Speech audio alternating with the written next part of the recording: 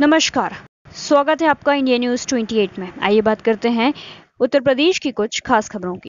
उत्तर प्रदेश के कानपुर में 24 घंटे में दो नाबालिग बच्चों को किया बरामद। कल्याणपुर थाना क्षेत्र में एक ही परिवार के यीशु पुत्र सुनील निवासी अंबेडकर पुरम एवं छोटा बेटा अन्य पुत्र सुनील घर से बिना बताए कहीं निकल गए। इनके गुम होने की सूचना सुनील उपरोक्त ने आवास विकास तीन चौकी प्रभारी को दी। सूचना पर त्वरित कार्रवाई करते हुए Ganesh Tiwari, constable Ajit Singh, constable Bablu, constable Ram Sewak ने दोनों जगह जगह ग्रांड चेकिंग लगाई, तभी भी दोनों बच्चे दलहन क्रॉसिंग पर मिले, जिन्हें सकुशल बरामद कर उनके परिजनों को सुपुत्र कर दिया गया। कल्याणपुर थाना पुलिस कमिश्नरेट ने भूरी भूरी प्रशंसा की, बच्चों के परिजनों ने पुलिस का आभार व्यक्त किया। संवाददाता दीपक मिश्रा की रिपोर्ट।